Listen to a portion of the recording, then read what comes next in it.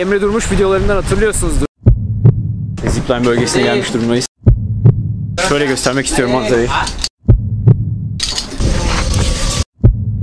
Sir, take up your slippers. It's not good. I, I'm really sorry. Are you ready, sir? One. Sir, hold on the strap. Then lean back. One, one, two. Two, three.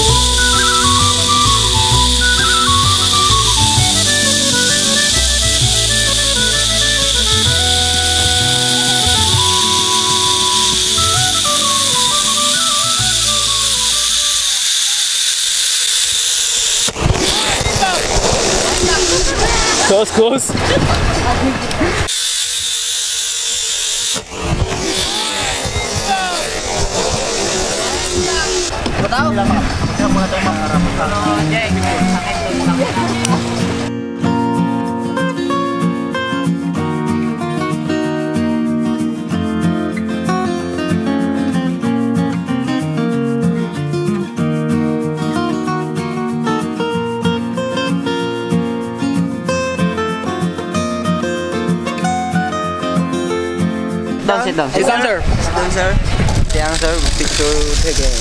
Picture time.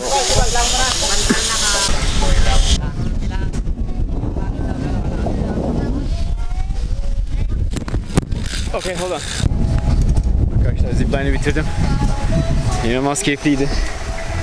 Tek yönmüş sadece. O yüzden birazdan şu arkamda görmüş olduğunuz eee sandbar'dan yürüyerek bizi bekleyen tur teknemize gideceğiz. Oldukça keyifliydi. Ee, şu anda büyük kamerayı elimde taşıdım. Bayağı da tedirgindim aslında. Bayağı hızlı gideceğiz, düşecek falan filan diye ama hiçbir sıkıntı olmadı. Gayet rahat geldim. Şimdi sahile doğru yola çıkacağız.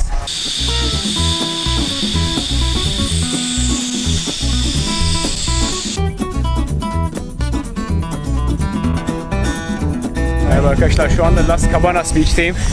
Tur rehberimle buluştum. Şimdi bizi Tur B için tekneye götürüyor. Zipline yaptığımız bölgenin tam altındayız şu anda. Burası özellikle gün batımı için muhteşem manzaralar sunan bir bölge. Las Cabanas Beach. Aklınızda olsun.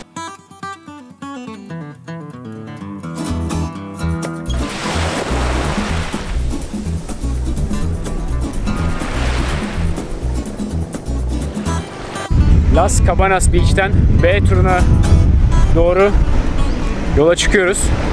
Arkamda görmüş olduğunuz beach Las Cabanas Beach'in sonu. Hindistan cevizi ağaçları. Muhteşem bir sahil. Las Cabanas Beach El Nido'daki sahilden ve Koron Koron'daki sahilden bir tık daha kaliteli duruyor.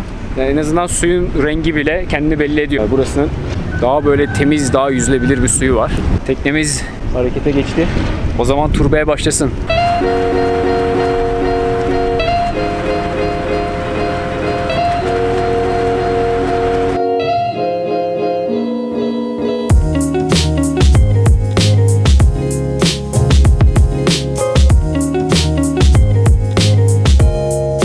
Evet, bu Yutan Adası'na geldim. Birazdan tekneden iniyorum. Burada tekne sahile tam yanaşamıyor. Biraz kayalık olduğu için sahil. Arkadaşlar şu anda Pinak bu Yutan Adası'ndayım. Burası Filipinler'de Survivor'ın çekildiği ada.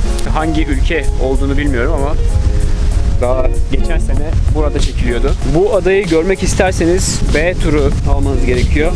B turunun bir parçası. Şöyle göstereyim etrafı.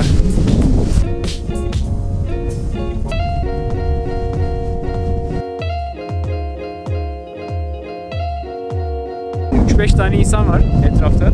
Burası genelde inanılmaz kalabalık e, olan bir ada. Yani A ve C turları çok popüler ama B turu da bu ada sebebiyle oldukça popüler. Ama şimdi pek insan yok. Kaç tane fotoğraf çekelim o zaman.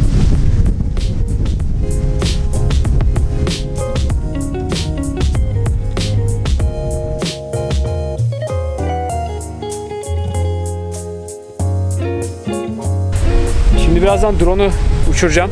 Çok rüzgarlı bir hava var. Birazdan bir çocukla konuştum. Dedi ki bende Phantom 4 var dedi. Ama bu rüzgarda uçurmaya çekiniyorum dedi. Ben Mavic Pro'yu uçurdum.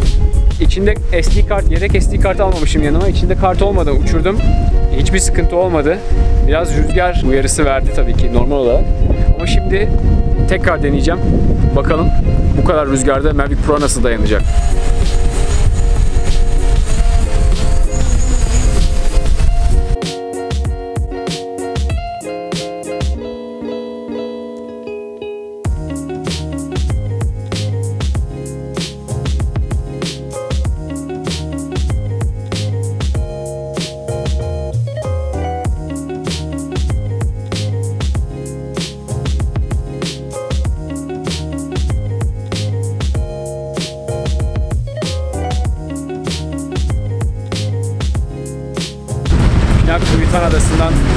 Ayrılıyorum.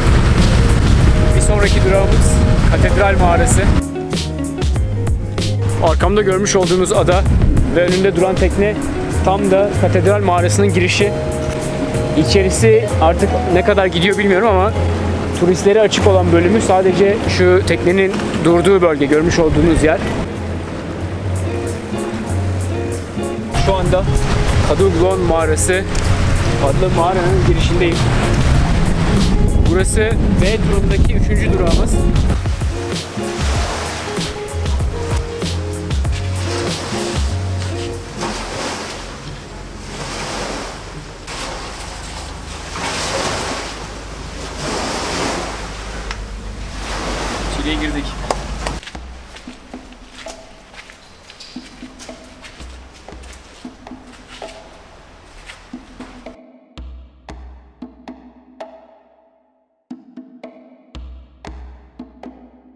Kuduknon, can you say it one more time? Kudugnon. Kuduknon mağarası. Arkadaşlar Kaduglon mağarası böyleydi. İçerisi oldukça karanlık ve dönen nahiye şeklinde bir mağara yapısı var. Elnido'ya gelmişken bunu da görmüş oldum. Görmediğimiz iki tane ada kaldı. Bunlardan birincisi Entalula Adası. Son olarak da Snake Adası yani Yılan Adası'na gideceğim.